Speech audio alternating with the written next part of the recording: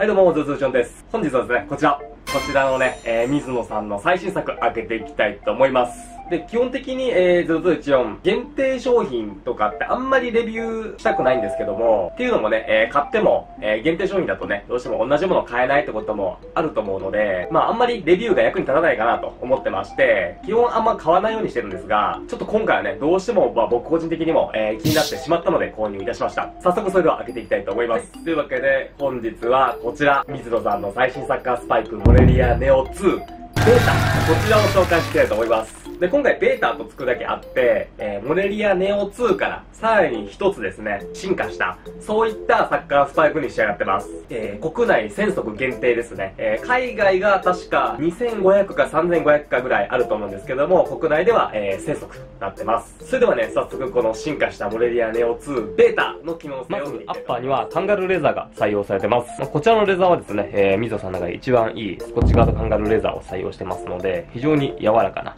えー、足馴染みのいいカンガルーレザーに仕上がっております。この辺は基本的に一緒ですね。裏材に関しても一緒のような感触を受けるようなものとなってます。で、見ての通りなんですが、中足部以降が大きく変わってます。ベータモデルはメッシュなんですね。で、メッシュ素材に、えー、フィルムコーティングをしたようなものになってまして、まあ、非常に軽量性を高めたようなもの。で、かつこれは中側を見てもらいたいです。中がですね、こういった風にフレーム状になってまして、え基本的にはむき出しのメッシュに、えー、フィルムだけをコーティングしたようなものがベース。で、それだと強度が足らないので、フレームをしっかりと入れてあるといったものになってます。これは、インサイド側も同じですね。インサイド、アウトサイド両方に同じようなものが搭載されてます。で、シュータンですね。こちらシュータンの方も非常に薄い、極薄のシュータンが使えてます。上の方はね、えー、裏側肝素材なんですが、もうこの下の方は、えー、肉抜きされてまして、本当にマイクロファイバー1枚だけみたいな部分もあって、ものすごく薄いです。驚異的に薄いですね。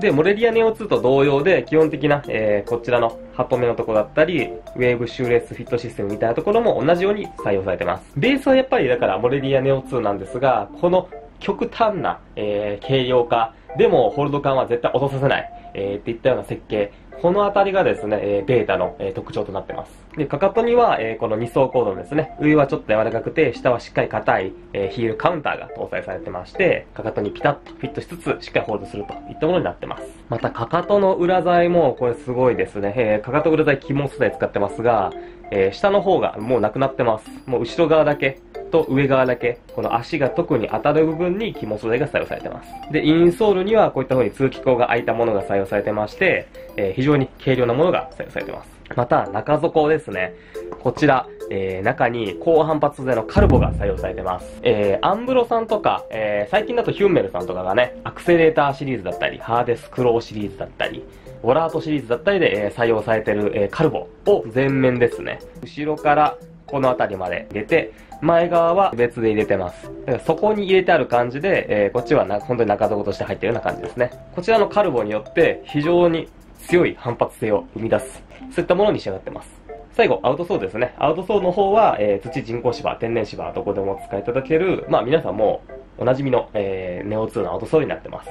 こちらに関しては特別、えー、機能の違いはございません。まあ非常に刺さりが良くて、抜けもいい。で、素足感覚で動きやすい。走れる、止まれる、キレも良く、スピーディーに動ける。そういったアウトソールに仕上がってます。今回25センチ購入いたしました。えー、片足重量 165g となっております。えー、超軽量。本当に軽量と言っていいのではないでしょうか。この重量は他ではなかなか見れないと思います。余談ですが、えー、マーキュリアルスーパーフライ 7FG エリート。これで中敷きない状態で 165g です。中敷き分ぐらいは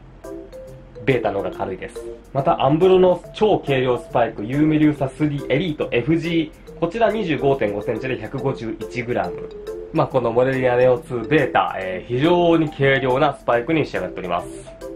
以上でモレリアネオ2ベータの紹介は以上となります。まあ、ベースはモレリアネオ2と一緒なわけなんですけども、まあやはりこのメッシュですね。中足部以降のメッシュ素材による軽量化だったり、裏材もかなり削ぎ落としてます。で、また、高速部から中速部まで、そしてまた中底にもカルボと呼ばれる高反発素材が使われてまして、非常にね、高反発で軽く仕上がったのがこのこちらのモレリアネオ2ベータとなっております。まあ、ただ軽くしたというわけではなく、しっかりとアッパーの、えー、フィット感、そしてホールド感っていうのを保ちながら、えー、さらに高反発性を高めた、そういったシューズに仕上がってますので、よりスピードを求めるような選手、どちらかというと、なんで、もうちょっとラグビー寄りに寄ったようなシューズですね。もちろん今までのような素足感覚、柔らかさ、軽量性っていうのは持ってるんですけども、より反発性が高まって、体重のある選手だったり、筋力のある選手、そういった選手にもっと、えー、適したシューズになってますので、ぜひね、えー、ラガーマンの選手だったり、えー、サッカー部でも特にスピードを重視するような選手にはぜひね、手に取ってもらいたいなと思います。それでは本日の動画は以上となります。ご視聴ありがとうございました。またよければチャンネル登録、高評価よろしくお願いします。それではまた次回。